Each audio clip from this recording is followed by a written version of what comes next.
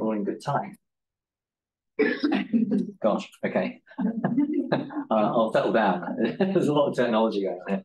Um, so uh, yeah, I'm, I'm going to talk about you know some of the work we've been doing about you know, really mostly focusing on the sort of circadian biology and how that impacts on medicine and possibly may give us some opportunities in the future. Um, I'm going to start off talking a little bit about um, sleep. Um, sleep's a really complex uh, behavior. And why am I talking about sleep? I'm not really a sleep biologist. Well, um, um, sleep is kind of quite intimately intertwined with the operation of the circadian clock. And I guess for most people, uh, the readout of their clock that they're most aware of is their sleep behavior. Um, as you'll testify yourself, having flown from the States, even though you're tired, you can't sleep properly because you're trying to sleep against your clock. And it, don't worry, I'll crash.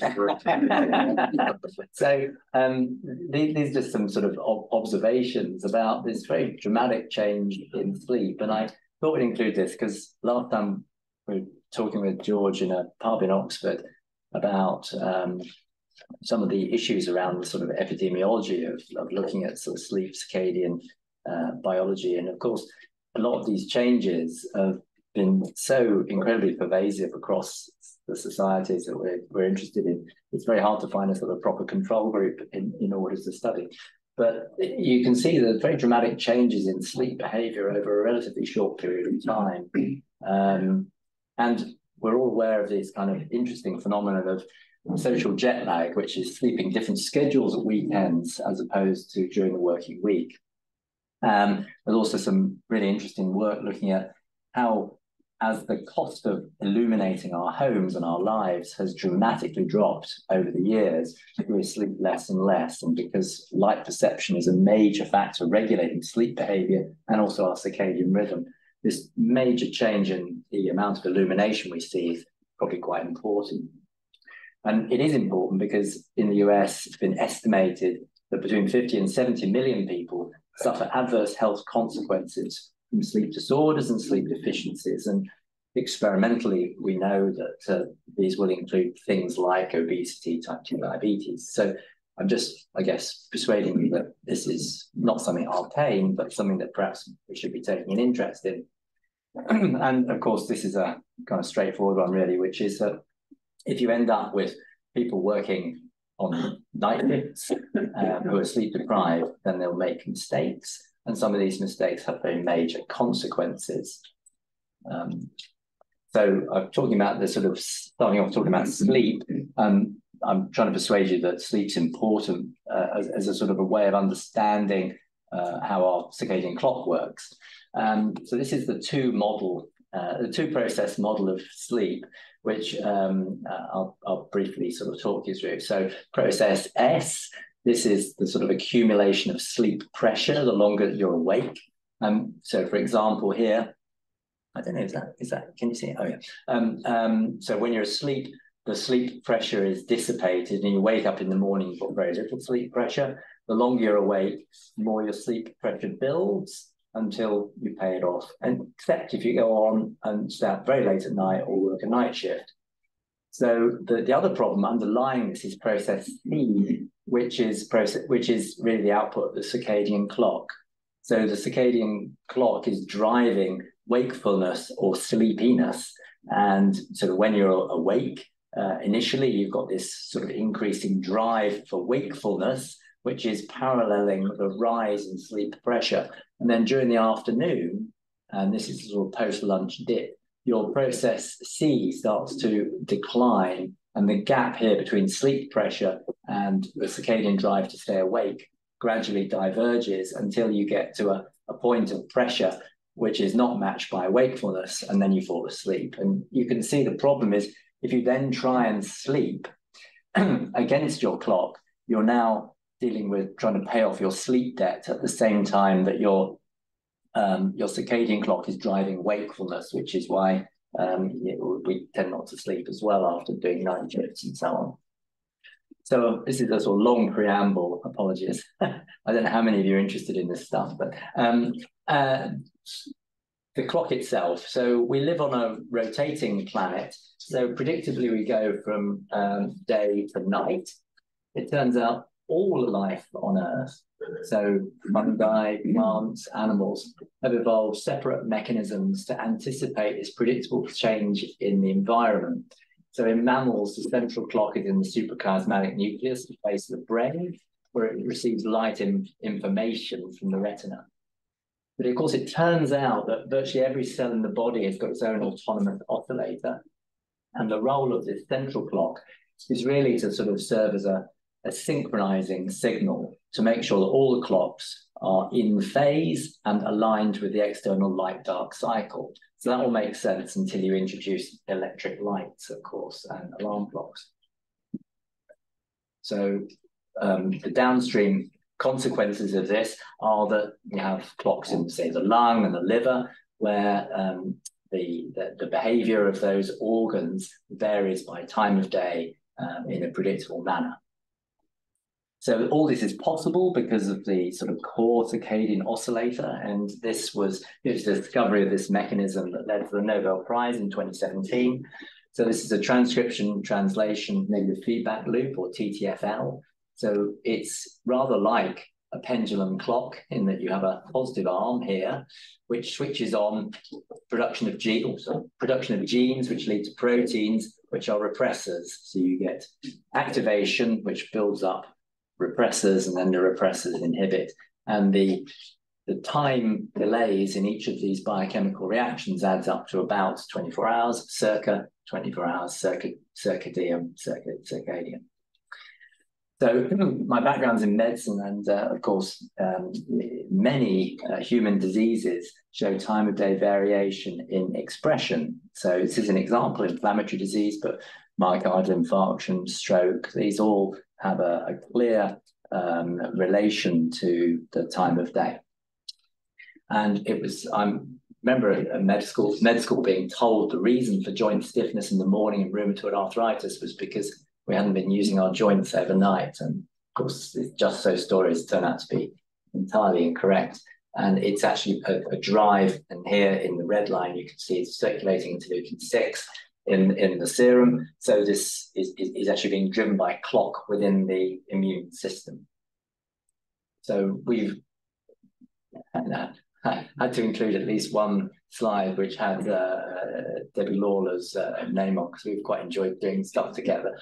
and uh, uh, we've been looking at various uh, cardiometabolic traits and inflammatory diseases in UK Biobank. And uh, this was one looking at um, a risk of asthma, which we were thrilled because it actually was picked up by a popular publication. I, have had to put the red line, it says night job hits lung. So um, I've never had any of my work previously um, receive any any interest outside of very specialist. Uh, yeah, the accompanying figure wasn't uh, no, no, no. Was, uh, I'm, I'm, sorry about that. Um, so, um, what else can I interest you about this, the role of the clock? So, uh, we often use drugs, um, and it's interesting to think about the role of timing in the efficacy or side effect profile of medication.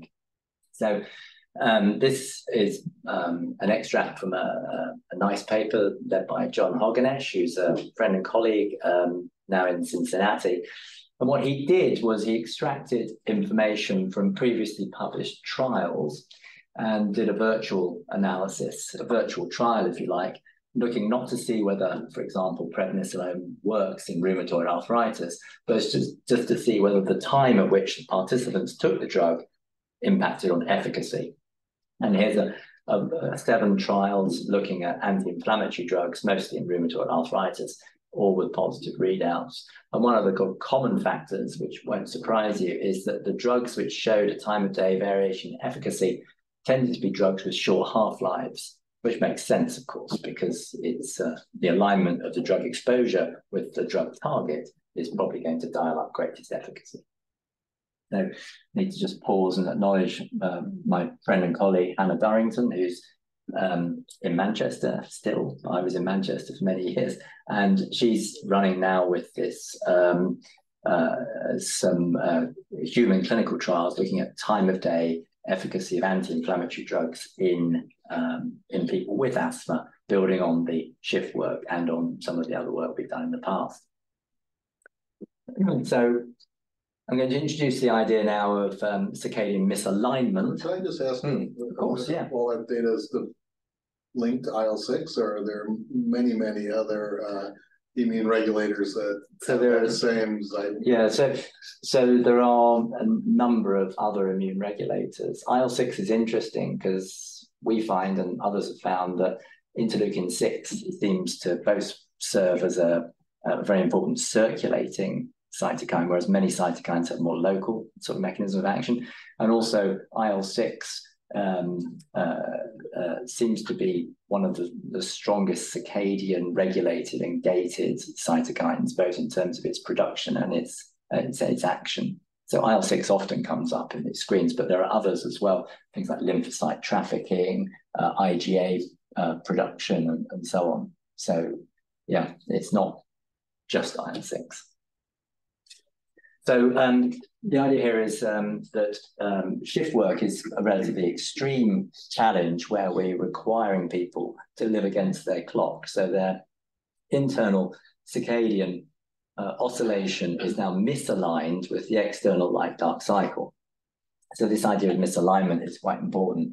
But it's important also to note that almost all of us are living misaligned lives because of the presence of you know, artificial light in the evening.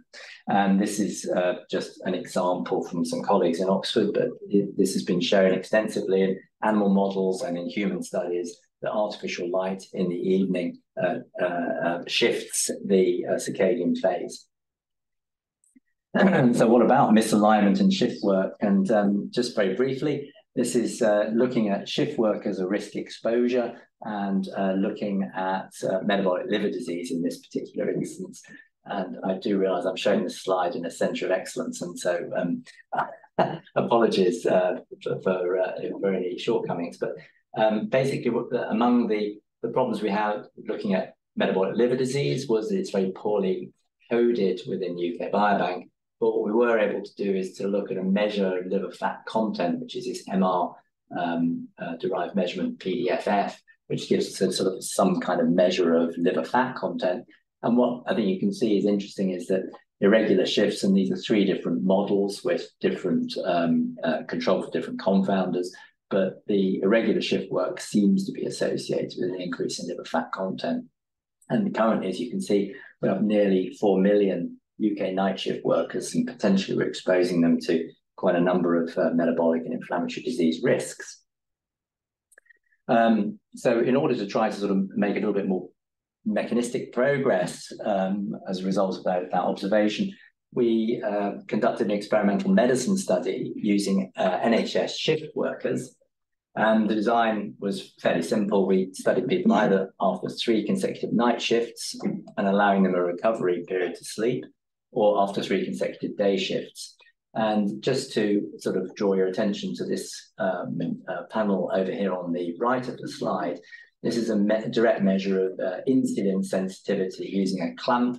So we're infusing insulin at a constant rate, and then we have to hose in a certain amount of glucose to maintain glycemic control.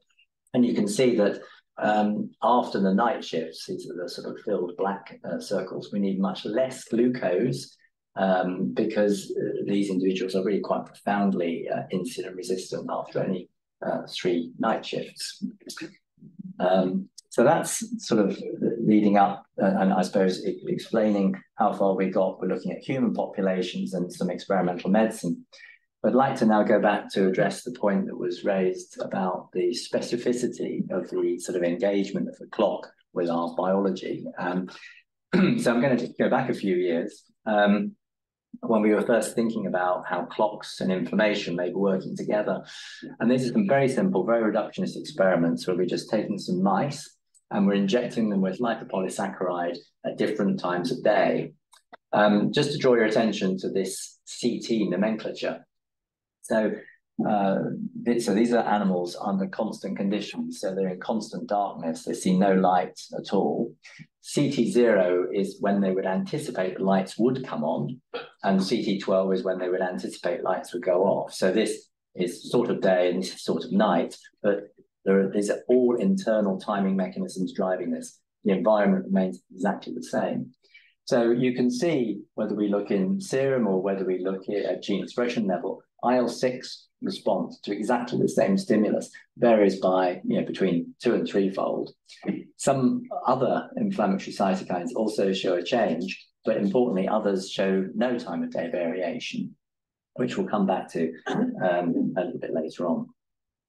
So we can also do similar studies in human macrophages. So these are human circulating monocytes differentiated for two weeks in a dish. So they're a long way out of um, out of the person, and we can synchronize the, the those macrophages by giving them a serum shock, and then we can challenge them with the same lipopolysaccharide at different arbitrary time intervals after that synchronization. And you can see that the excursion of response in IL-6 here to challenge uh, remains gated by an internal timing system, even in these cells in a dish. I'm going to cut through this fairly quickly, but we were among the first to identify small molecular ligands which bound to clock components, and we were able to show that we could modify clock function and also a number of these molecules here you can see inhibited production of the pro-inflammatory interleukin 6 in different types of human macrophage. I won't go through all the other controls, but this again says that there's an internal autonomous timekeeper that's powerfully regulating IL-6 and we can control that by using the clock. That's quite artificial, of course, and we wanted to sort of move a bit closer to sort of human relevance. So what we were doing now is again using a mouse model. Um, we can persuade mice to inhale lipopolysaccharide in very low dose, which just generates a, a modest inflammatory response, but in the lung now. And again, these are mice under constant conditions. And you can readily see that when we look at the bronchoalveolar lavage, that is the fluid we can get from the lung, there was a lot more neutrophilic inflammation at CT0 than, than at any other time point. And you can see uh, that's you know the classic neutrophilic infiltration that you would expect and anticipate. We screened lots of cytokines, but only six showed a significant time of day variation. Um, and again, you know, IL-6 always comes up. But here the, the oscillation of IL-6 didn't quite make sense with the neutrophilic inflammation. But CXCL5, which is a chemokine powerfully uh, attracts neutrophils, uh, peaked around the same time as the peak neutrophilic uh, response. So just bear that in mind. And again, I'm kind of indirectly asking your answering your question about the specificity, and specificity is very important. Do you see any pairing between uh, the secreted cytokines and the cognate receptors? Um, uh, the receptors, you know, the receptors, too, or are they yeah, so just change the ligand? Yeah, mostly it's the case that one will change. So mostly it's the ligands that change, but the receptors stay relatively the same. Certainly for this these components of the innate immune response. When you get into the adaptive immune response, then things change a little bit. And then when you, you're dealing with um, a more complicated system where you can have rhythmic trafficking of lymphocytes dominated, in fact, by rhythmic changes in adhesion molecules and endothelium, rather than changes from within the, the lymphocyte itself, which is kind of interesting. The distracting question. That's when you perform these studies, uh, is it one animal per cage, three animals per cage? No, so these are group housed. Yeah, these are group housed. Um, but some some studies we do uh, individually, but yeah, group housed. No difference. No, no. And we, we've done this, you know, a lot of times. But um, so the other trick we can do, rather than sort of looking at the clock environmentally, is we can genetically disrupt the clock. So I showed you earlier a sort of cartoon of how the oscillator works. And um, I'm sure you know, I've got all kinds of stuff here. But anyway, BMAL1 is the only non-redundant circadian clock factor. So it's convenient because if we remove BMAL1, then the cells cannot oscillate. So what we've done here is we've just targeted the bronchial epithelium. That's the, those are the cells lining the lung. So these are not professional immune cells, um, but um, we think they're important dominant timekeeping cells in the lung. And we've just removed female one, So the, the animal's completely rhythmic. It has a completely rhythmic immune system. It's just these epithelial cells can't tell time anymore. Um, we anticipated that we would lose the time of day variation in neutrophilic inflammation. Um, which we did. But the real surprise was when you disrupt the clock, you get a very powerful pro-inflammatory response. So this was not anticipated. And just to um, look, um, uh, look, you know, we looked at this in, in, in, in, in lots of different ways. And in order to try to find, you know, what might be the culprit, we found that actually it was just this single neutrophil chemokine which was dysregulated. So the it was very very precise um, the coupling through the clock to the inflammatory response through a single gene, which of course led us to suspect that if we remove that gene, we could break the link between the clock and lung inflammation. And again, to cut a long story short, um, uh, that was the case. We actually didn't do this ourselves. It was done by a colleague in Philadelphia who initially didn't believe there was any time of day change. But when he did the experiment himself, he found, in fact, you know, about a fourfold variation. And um, uh, in his knockouts, he found that that fourfold variation was completely abolished. So um, CXCL5 is a very important link then between the clock and inflammation. It's, it's also one of the most glucocorticoid sensitive chemokines. It always comes up as the most sensitive. And as I was talking to you earlier, glucocorticoids are widely used, very powerful anti-inflammatories, and they're used very effectively to treat lung inflammation, including most recently dexamethasone in treatment for uh, COVID uh, pneumonia.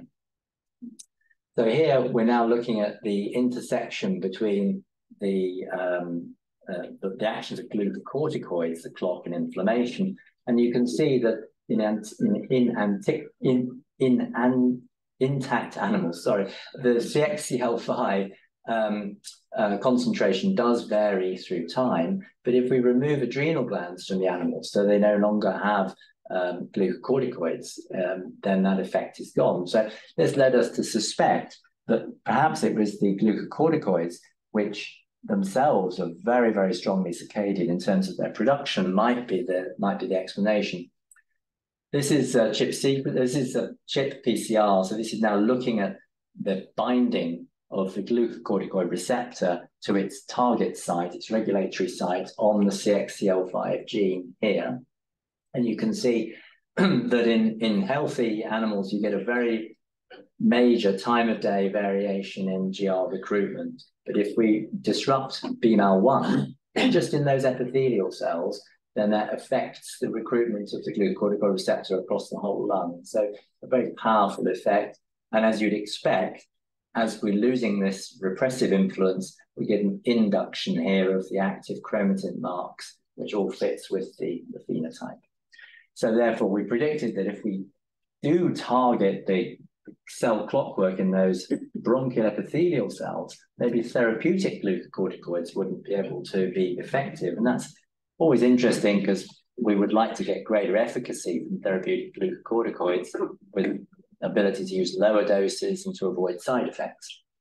And as I mm-hmm. showed you, there's some evidence from clinical trials that time of day does affect efficacy. So we have a little bit of information to support us in this.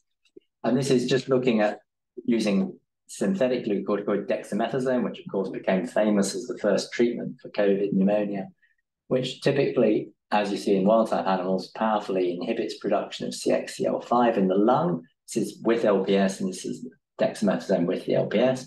You can see just disrupting that clock gene in the epithelium completely stops that effect. And if we look at the reduction of neutrophilic inflammation, here you see more than 50% reduction in control animals, and that's completely abolished just by disrupting the clockwork. So, to summarize so far, um, it's kind of really interesting set of specificities emerge in that we've found a single cell type out of about 90 different cell types in the lung, which seem to be the dominant timekeepers, and we can interfere with the clock there and generate uh, major phenotypes.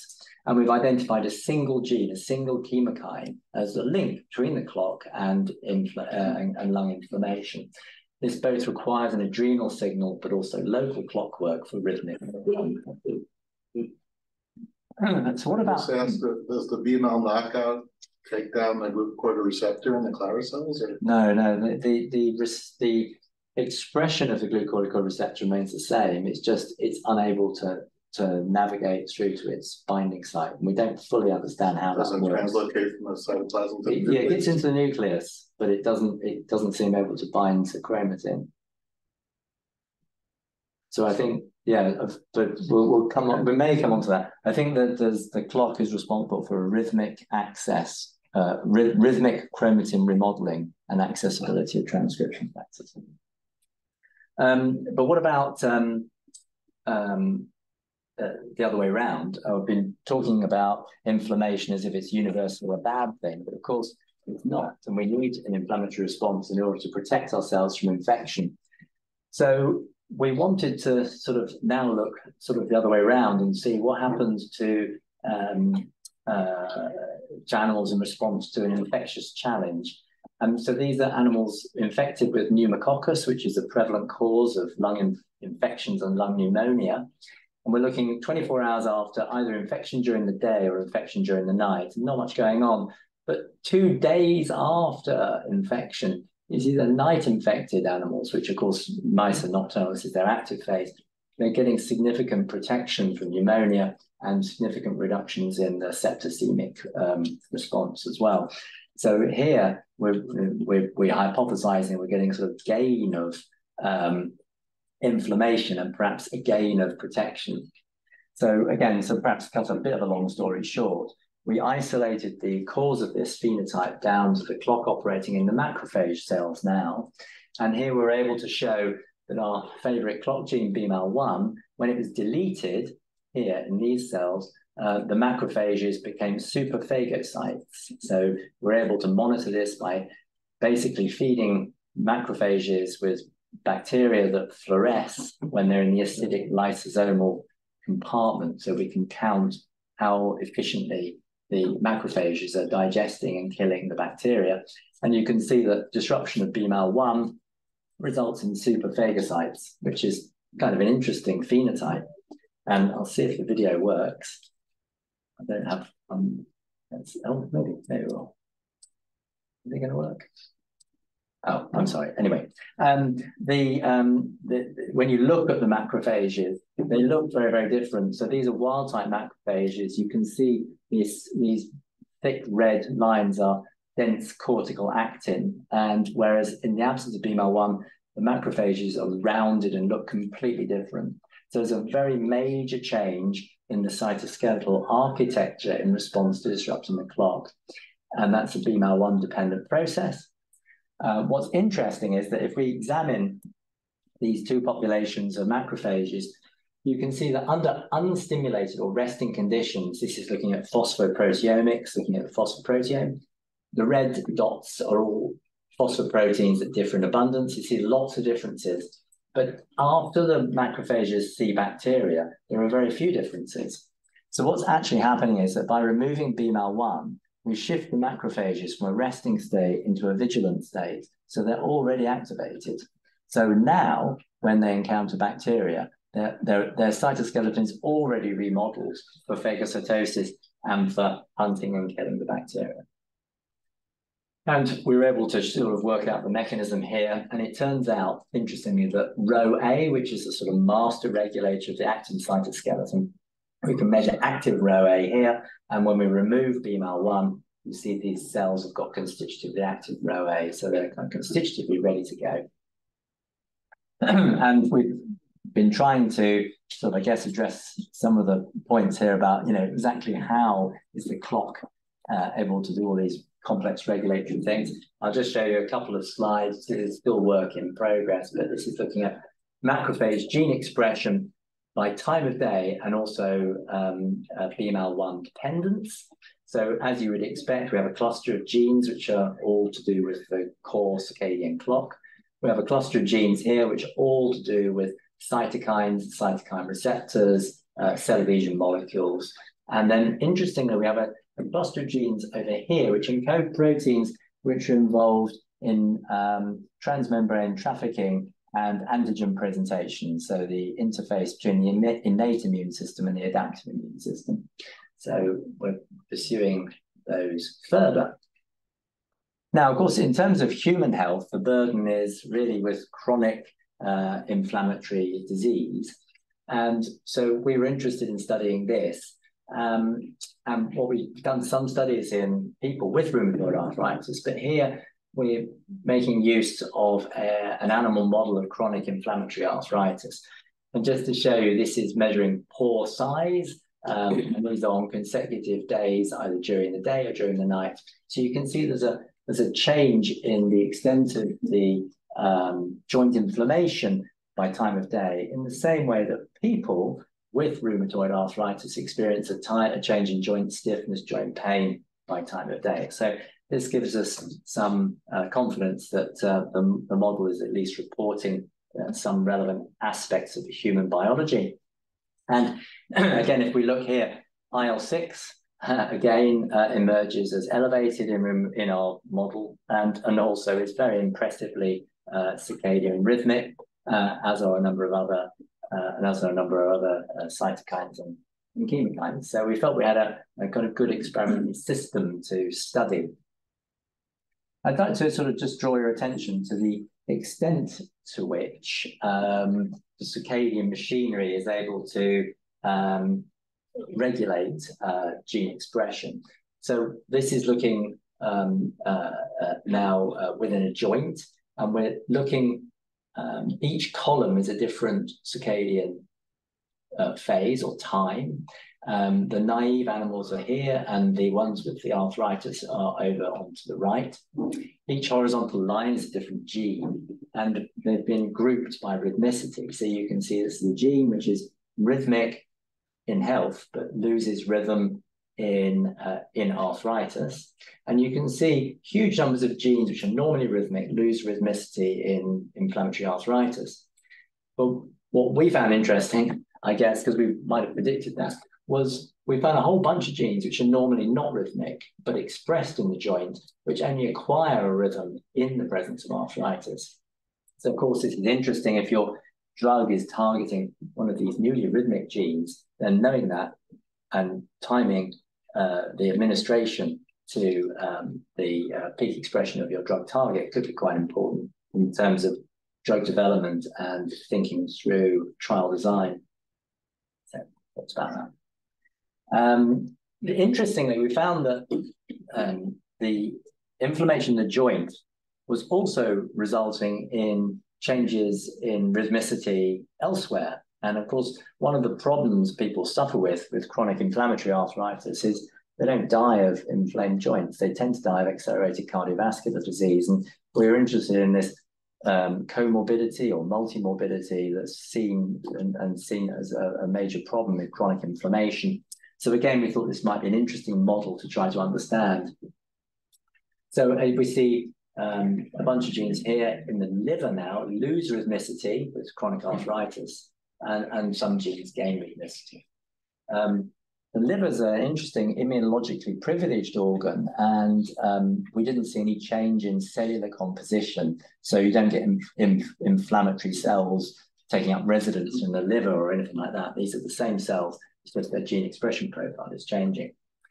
And if we look at the core clock genes here, you see most of them remain rhythmic, but you can see there are some differences in their expression um, in in the uh, in the liver in response to arthritis.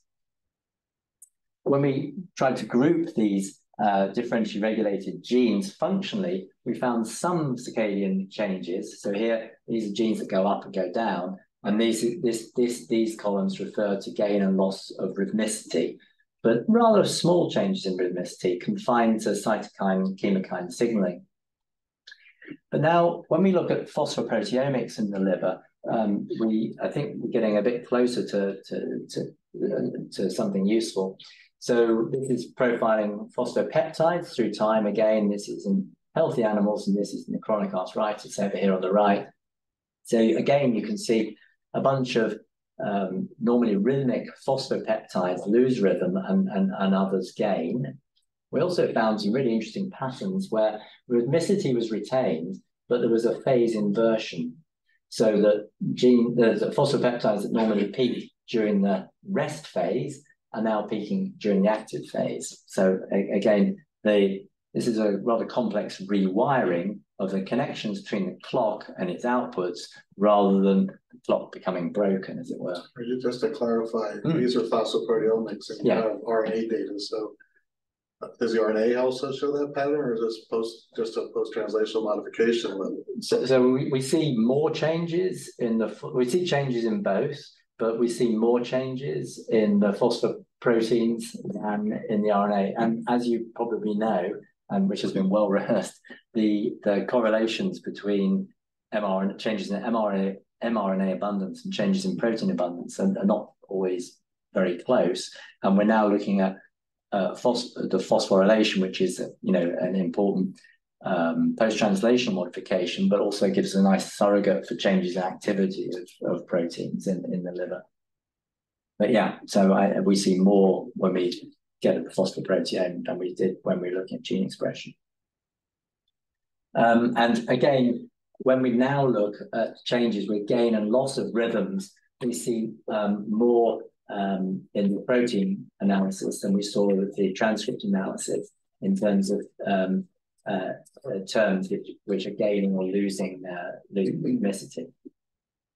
So if I can sort of just try and sort of draw some of that together, we also profiled the metabolome at the various time points, and we've integrated the metabolome with gene expression and with the phosphoproteome.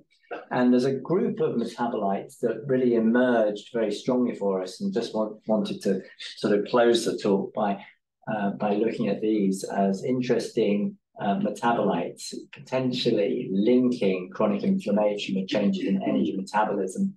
So um, this is liver metabolomics, uh, plasma here, and then muscle here.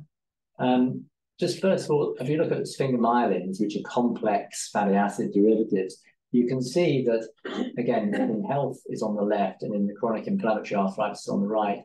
You can see in health some of the sphingomyelin species within the liver show quite a strong time of day variation in abundance, which is completely lost in, the animals with the arthritis. And other sphingomyelin species acquire a rhythm only in the presence of arthritis.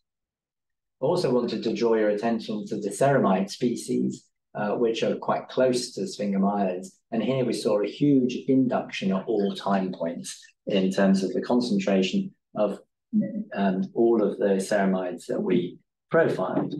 Now, ceramides are interesting for a number of reasons. Their production is known to be increased by inflammation, and they're strongly linked with insulin resistance and metabolic syndrome as well.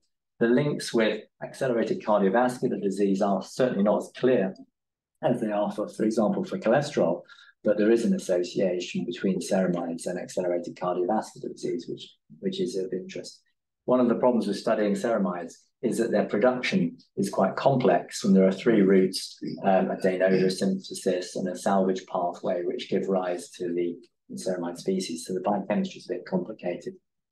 But just sort of explain how what we think is happening, we think here, if we look at the fatty acids in the liver, you see these normally very rhythmic in health.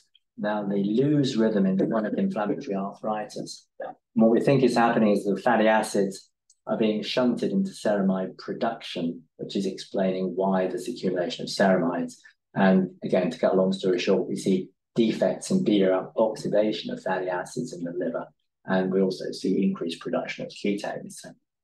It's more complicated than just ceramides. But the ceramides do play an interesting uh, structural and signaling role uh, they're produced by fatty acid from fatty acids under the influence of a STAT3 signaling cascade. And they are intercalated into the plasma membrane where they affect transmembrane receptor function. They also intercalate into mitochondrial membranes and affect energy production. So these are kind of quite important um, uh, molecular species. But what about their, their role in the clock? So um, it turns out these ceramides are uh, not just structural, but they also have important signaling properties. And if we just look at, across the top here, we're now looking at a um, uh, this is the circadian readout. So these are liver cells which are transgenic from BMAL1 luciferase. So we get light output under the control of the clock. So if you look at the blue line, you can see these liver cells oscillate beautifully. if we feed them C2 ceramide, or sorry, C2 ceramides, then you can see in the red line that the clock oscillation is essentially abolished. We can in, in, um, use an inhibitor of ceramide degradation, this DEMAC, and as you can see, when you titrate that in, it also reduces the amplitude here. If you compare the yellow line with the control ethanol vehicle, which is in blue, quite profound effects on the function of the circadian oscillator. Of course, that's tricky because you know we might be you know screwing the cells up and then they lose rhythm. Well, what's also perhaps more persuasive, more persuasive is if we use an inhibitor of ceramide synthesis. So this limits de novo synthesis of ceramides in those liver cells. What we see is that compared to the vehicle, which is in the red line here, as we inhibit ceramide synthesis, we actually dial up an increase in amplitude. So this is kind of, you know, quite nice evidence that there's a um, there's a sort of rheostatic relationship between intracellular ceramide abundance and the operation of the circadian oscillator. Um, we're not the only people to have detected uh, uh, a connection between um, ceramides and and the operation of the core circadian clock. These are colleagues in uh, in Geneva, and again, if you just look here, I mean, their oscillations aren't really as beautiful as ours, but what can one say? Um, um, this is the myriocin, the inhibitor of ceramide synthesis, and you can see you get higher amplitude oscillations and um, uh, in, in, the red. So uh, I think that that this is emerging as a, a, another interesting um, circadian metabolic um, interface. So this is my kind of final slide. Um, hopefully I've uh, persuaded you that uh, circadian biology is something interesting to think about um, and may play an interesting role in connecting some of the comorbidities we see with, say, for example, chronic inflammation. We know that chronic inflammation does impact on system-wide energy metabolism, but what we've been able to do, I think, here is to identify that, that to fully understand those connections, we do need to take into account the role of the clock because clock is both important for regulating inflammation and also energy metabolism.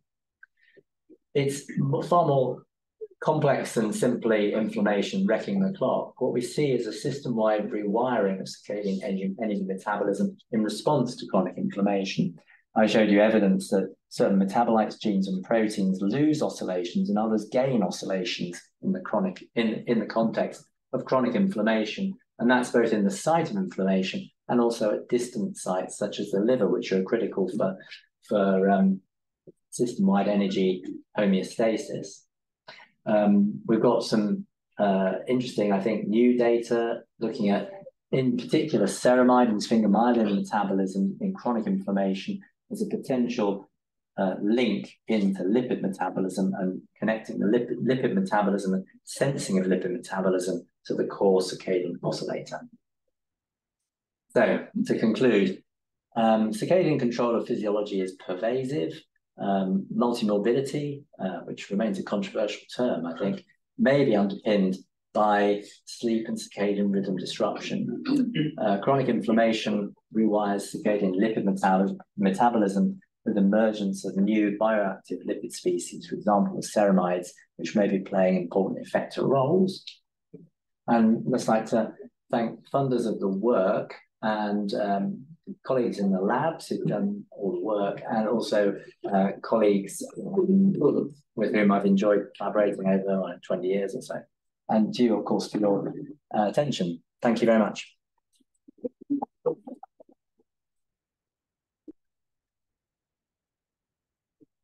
You, you overrode my tendency to fall asleep post lunch. it was really, really fascinating. Um, anyone who can speak, uh, ask that. Lucia.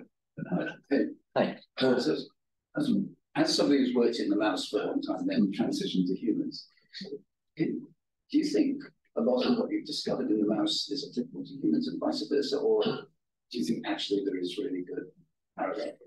Yeah, so it's really interesting. Um, and uh, mice are nocturnal and humans are diurnal and so on. Um, the uh, difference between nocturnal and diurnal has been studied fairly extensively. The SCN clock follows light in both nocturnal and diurnal animals. everything downstream of SCN is um, phase inverted uh, between you know, nocturnal and diurnal. Um, but almost all that we see in the mouse has a, a human, a strong human correlate.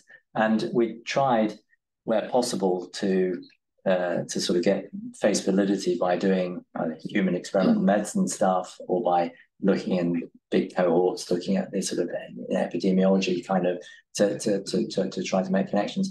I think because if you look in terms of evolutionary time, the clock is a kind of a super system probably arose at the time of the great oxygenation after photosynthesis. Mm-hmm. And it's probably an adaptation to, to handle uh, reactive oxygen species stress. And then because it's proved useful, various other bits of biology got sort of draped onto the operation of the clock. But because it's so ancient, I think it does make it, you know, probably more of a reliable um, uh, uh, system to study across species. And it's fascinating, you know, the fungal people, the plant people, the plant people are seeing circadian variation in resistance to things like caterpillars, for example. Uh, and it, it's, it's, it's, it's, I think probably because it's so ancient. But are the mediators that you identify, are they homologs in human mouse or? Yeah, well, so IL-6 is, is, is directly the same, but uh, CXCL5 rather similar. Um, I, so um, we don't have quite an IL-8 um, uh, uh, uh, uh, correlation, but but I think I think it's probably not the individual genes, but rather the processes that they subserve. No, so it's being interesting. I don't, I don't know if there's anyone online from the ecology group. There was a paper from PNAS about three or four years ago from the ecology group here who collected mice, wild mice from around, and and compared with all immune parameters what you saw, you actually saw in wild mice when you had the time of day, they were off, etc., etc. Compared them to lab mice, And this is a paper which only ended up in PNAS. It's interesting. The, the review story of it is interesting because there's lots of groups like vested interested in not appearing. And, it, and its bottom line is the laboratory mice are a useless model for wild mice, let alone let alone for humans. I'll I'll, I'll, I'll, I'll send it to you to you both. It's a it's a it's a it's an amazing paper, and and, and, it, and it's IL six is one of the main things that they they focus on, they, they focus on in in, uh, in that. Mm. So. Uh, well, uh, uh, uh, conspiracy theories aside about undoing all of mouse genetic with inbred strains. Um, outstanding seminar. Uh, really enjoyed it. Um, maybe a couple questions, but uh, if you condition on IL-6, i.e. mouse models and knock at IL-6, how much of the response is blunted? I know you said there are other contributors, but just how much of the IL-6 contributes to the overall phenotype? Yeah, so well, we we haven't done that, so I, I don't I don't think anyone has. I don't think anyone has done that actually. Okay, well, it looks like a doable experiment. Yeah. Um, second, I, was intrigued by two things. Uh, well, many things too. I'll ask you about. Uh, one was this rapid opening and closing of chromatin mm. that you have kind of inferred is how the glucocorticoid receptor may or yeah. may not gain access. That sounds fascinating to me. That's going to chromatin accessibility is going to toggle so quickly. So I was wondering how you think that. Yeah, yeah. So I didn't, I didn't, I didn't, I didn't show any data. So it's we're still working on that. So we've got a, a grad student who's that's her project at the moment. It's um, we've had encountered a few kind of issues along along the way. But um, broadly speaking, what we think is happening, and this is using ATAC-seq by time of day um, and also conditioning on BMAL1 loss. Um, it took us a little while, but we've got, I think, really clear evidence now of uh, time of day variation in ATAC um, accessibility. And when we started that, uh, colleagues who focus on transcription were very unconvinced that we'd find anything. They felt that probably the ATAC was going to give us, you know, enhancers, but wouldn't tell us about function, and we'd have to do H3K27 or something like that, which we're also doing, by the way. But but it's really interesting that the the the, the we think one of the ways in which the clock is operating is by gating access of other transcription factors, which we, we we're currently focusing on macrophages. Um, but bronchial epithelial cells are very hard because they're very difficult to get in sufficient numbers to do these kinds of studies. I think when, when we were in the pub you mentioned, we discussed that people here are doing a study of looking at the very short term rhythms Yeah. within the day Yeah. of methylation. And this Mm. notion of it, DNA methylation being stable is that it's actually stable through change. Mhm. But the actual bit is actually on off, on off, on off. Mm. So it depends uh, when you get it. And Mm. doing that with a with a, sam- a sampling device that, that was Yeah. Uh, introduced looking at cortisol. for Yes. Trying to do Yeah. that's Stafford Lightman. That's right, yes, yeah. It works. So we're looking Mm. at this issue of, uh, uh, I don't know, Matt Suderman or anyone's online anyway. that could- Mm. So of those genes that gain rhythmicity Hmm. with systemic infection, I wonder if you speculate, are they contributing to pathology or will they be protected?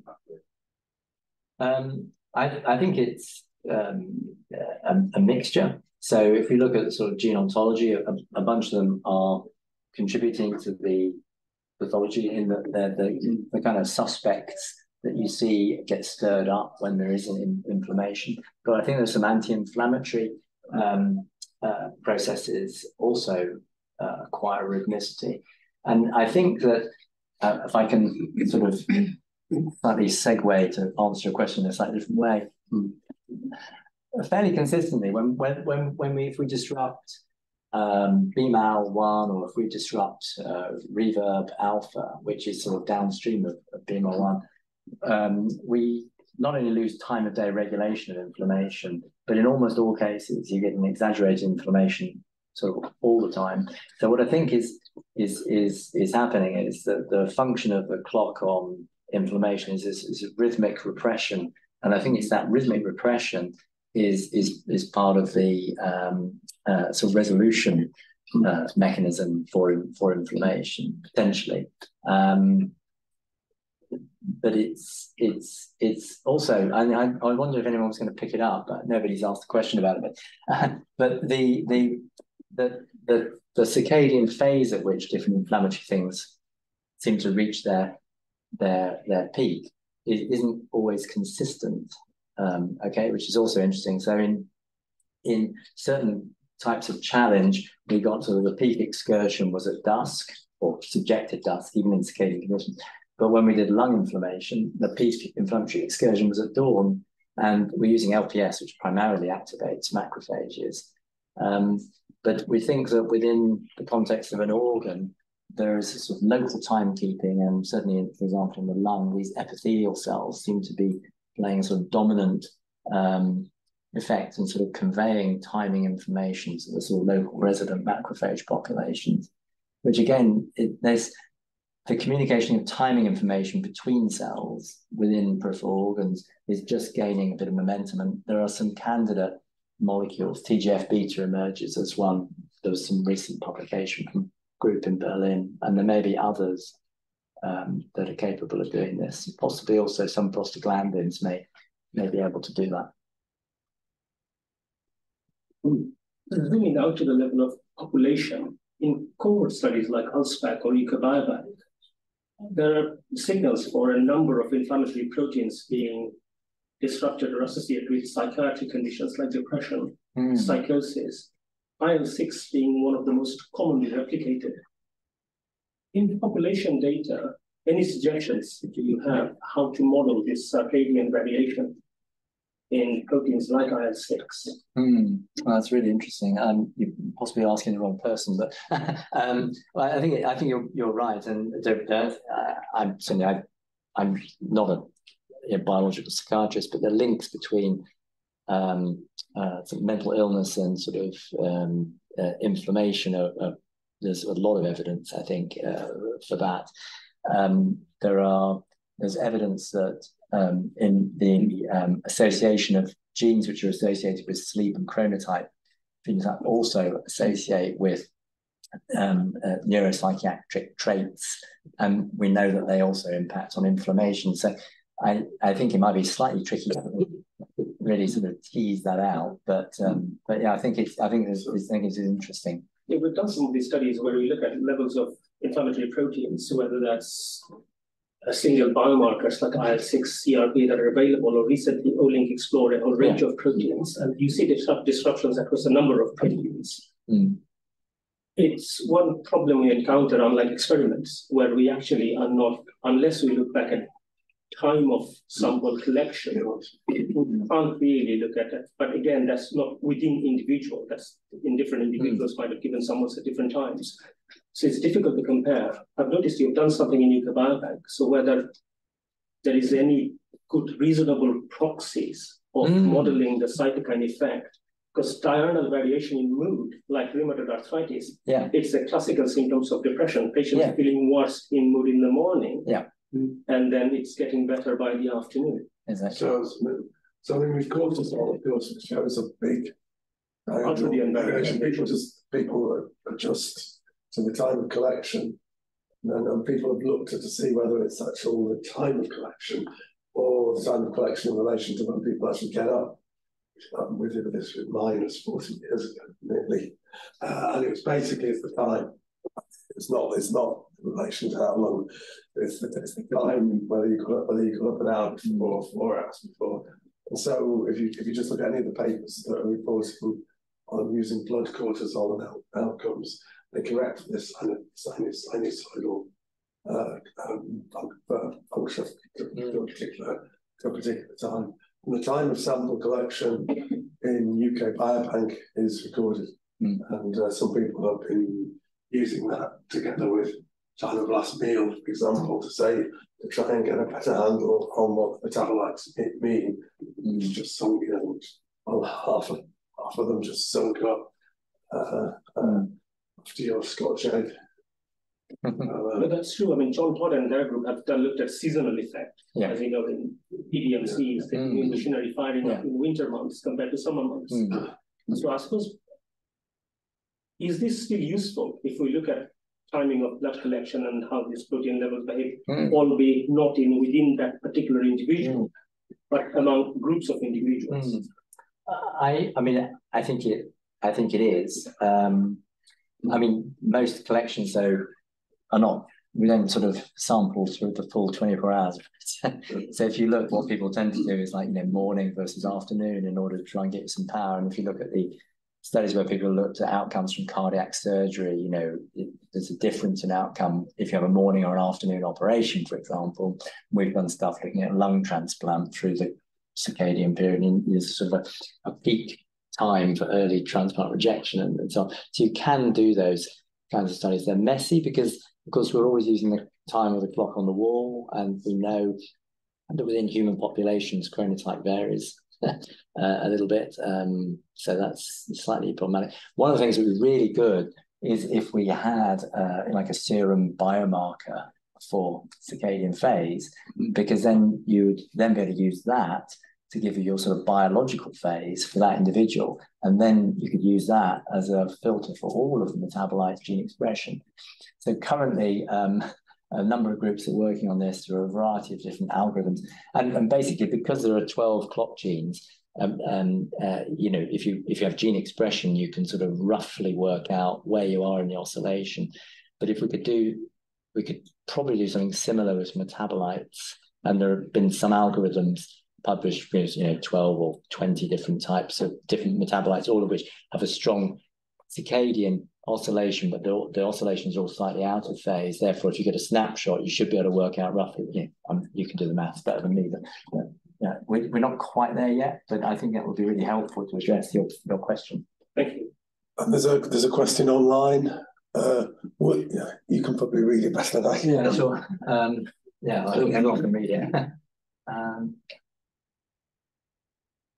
uh, yeah, so um, uh, so if you're referring to that sort of study we did on NHS shift workers, um, It might be worth reading it for. Oh, yeah. Oh, fair enough, Oh yeah, fair enough. Yeah, okay, sorry. Um, so would insulin resistance be related to the eating patterns of individuals doing night shifts, i.e. not having dinner and just snacking through the night, therefore keeping insulin levels constantly high? And, and yes, for sure. But where the way we did our study was we just looked at the conditioning effect of three nights. We then allowed the individuals to go home, sleep, recover, and all the individuals were studied after the same period of fasting duration. So, yeah, um, obviously insulin is going to be a dynamic response to your immediate nutritional state, but we think your liver insulin sensitivity gives us a sort of a longer term readout of what's happened before.